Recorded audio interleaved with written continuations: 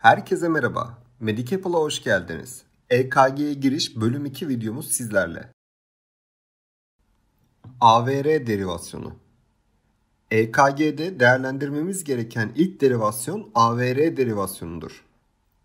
AVR derivasyonunda bulunan tüm dalgalar negatif olmalıdır. AVR pozitif ise yapmamız gereken ilk şey hastanın ekstremite derivasyonlarını kontrol etmek olmalıdır. Ekstremite derivasyonları yanlış bağlandığında AVR derivasyonu pozitif olur. Ekstremite derivasyonlarının doğru bağlanmış olmasına rağmen AVR pozitif ise hasta dextrokardi açısından değerlendirilmelidir. Dextrokardi Dextrokardi kalbin anatomik olarak sol yerine sağ tarafta olmasıdır. Dextrokardili hastaların iç organları normal yerlerinde olabileceği gibi tam ters kısımda ayna yansımasıyla yer alabilir. Dextrokardisi olan hastada EKG çekimi, defibrilasyon gibi işlemler normalin tam tersi olarak uygulanır.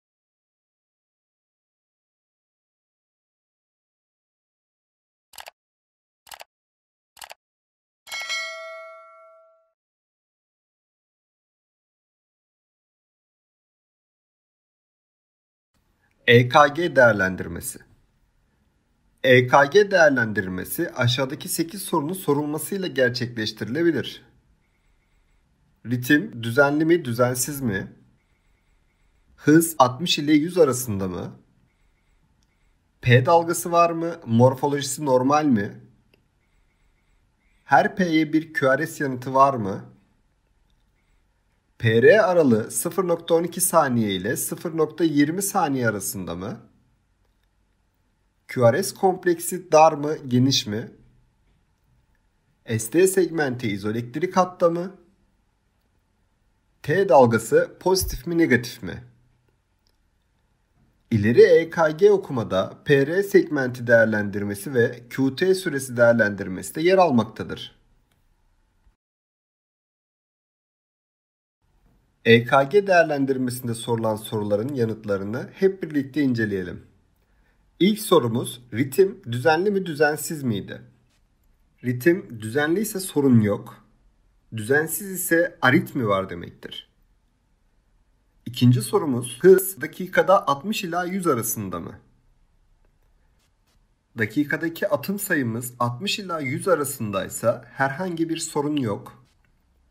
60'ın altındaysa bradikardi, 100'ün üzerinde ise taşikardi var demektir. Bu iki soru ritme koyacağımız tanıda bizlere fikir vermektedir.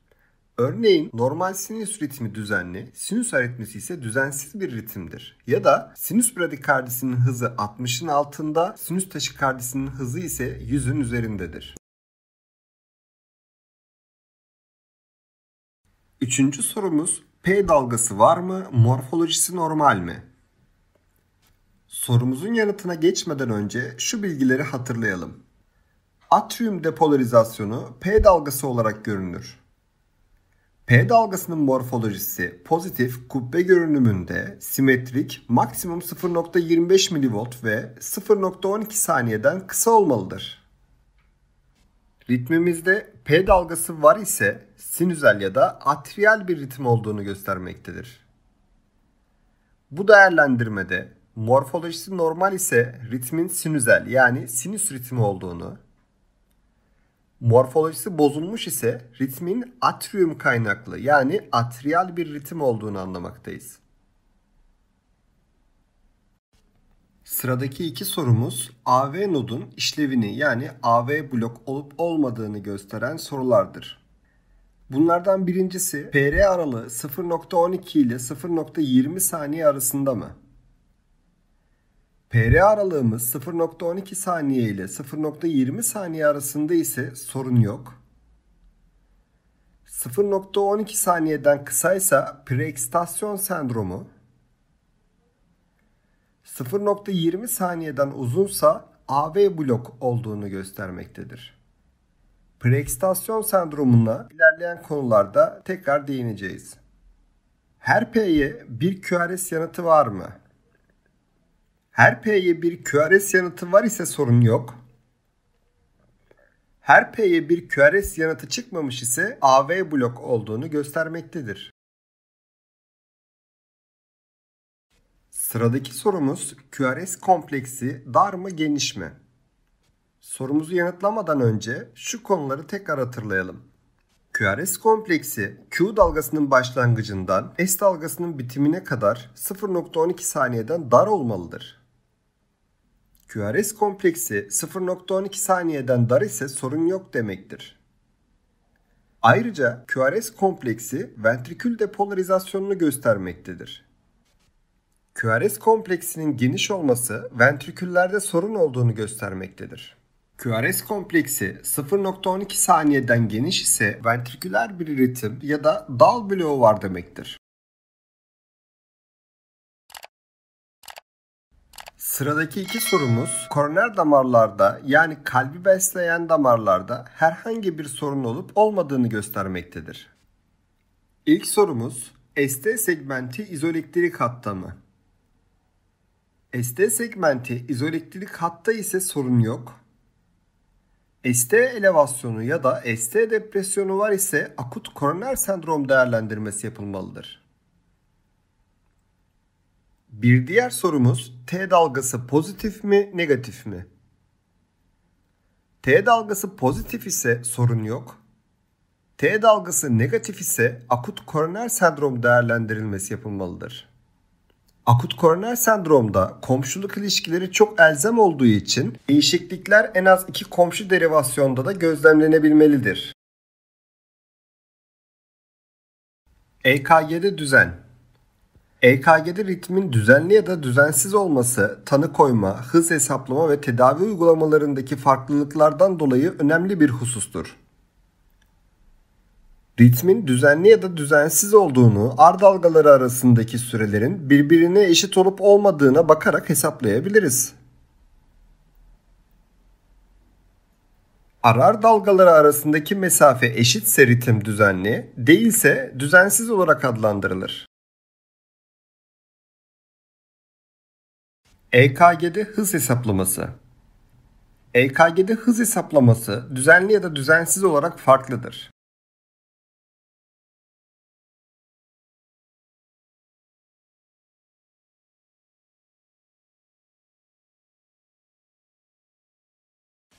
Düzenli ritimlerde hız hesaplama. Düzenli EKG'de hız hesaplama iki R dalgası arasındaki büyük ya da küçük karelerin sayımı ile gerçekleştirilmektedir.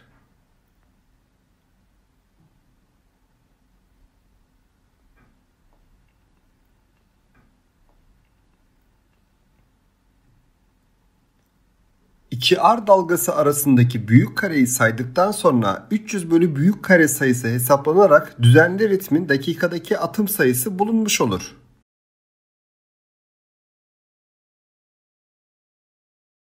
Örnek EKG Düzenli olan bu ritimde arar mesafeleri arasında 4 büyük kare bulunmaktadır. Formülümüz 300 bölü büyük kare sayısı yani 300 bölü 4 eşittir 75. Bu EKG'deki hızımız dakikada 75'tir. Örnek EKG 2 Arar mesafelerinin birbirine eşit olduğunu gözlemleyip düzenli olduğunu anladığımız bu ritmin iki R dalgası arasında yaklaşık iki büyük kare yer almaktadır. Formülümüz 300 bölü arar mesafesi arasındaki büyük kare sayısı. Yani 300 bölü 2 eşittir 150. Bu EKG'deki hızımız dakikada yaklaşık olarak 150'dir. Düzenli ritmin hız hesaplaması yöntem 2. Bir önceki yani örnek EKG 2 trasemizdeki gibi arar mesafesi tam olarak büyük kareye denk gelmiyor ise küçük kareler sayılarak hesaplama yapılır. Arar mesafesini ayrıntılı incelediğimizde 11 küçük kareye denk geldiğini gözlemliyoruz.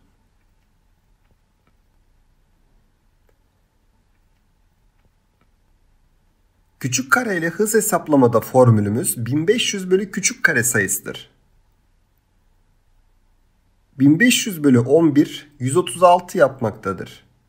Ritmimizi ayrıntılı değerlendirdiğimizde hızımızın 150 değil 136 olduğunu fark etmiş olduk. Örnek EKG Arar mesafelerinin birbirine eşit olduğunu gözlemleyip düzenli olduğunu anladığımız bu ritmin iki ar dalgası arasında 8 küçük kare yer almaktadır.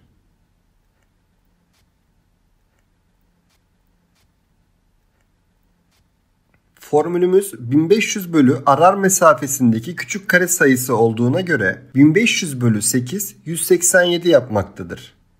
Bu EKG'deki hızımız dakikada 187'dir. Düzensiz ritimlerde hız hesaplama. Arar mesafelerinin birbirine eşit olmaması ile düzensiz olarak sınıflandırdığımız ritimlerde dakikanın onda biri yani 6 saniyelik EKG kaydını değerlendirmemiz gerekir. Standart hızla çekilmiş bir EKG'de 30 büyük kare 6 saniyelik kaydı göstermektedir. Öncelikle 30 büyük karelik EKG trasesinde kaç adet R dalgası olduğu sayılır.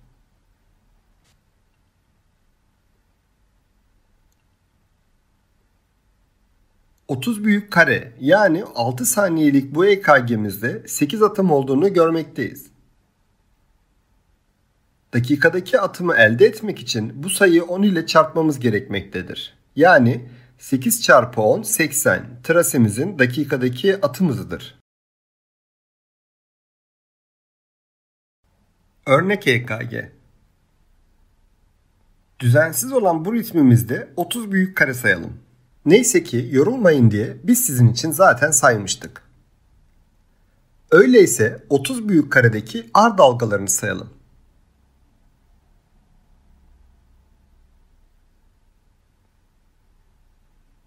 Umarım sayıyorsunuzdur. 30 büyük karedeki A dalgalarını saydığımızda 16 olduğunu gözlemliyoruz. Formülümüz 30 büyük karedeki R dalgası çarpı 10 olduğuna göre 16 çarpı 10 eşittir 160 dakikadaki atım sayımızdır. Sinüzel ritimleri izlemek için sağ üstteki kutucuğa tıklayabilir. Daha fazlası için web sitemiz ve sosyal medya hesaplarımızı kontrol edebilirsiniz. Başka bir videoda görüşmek üzere. Hoşçakalın.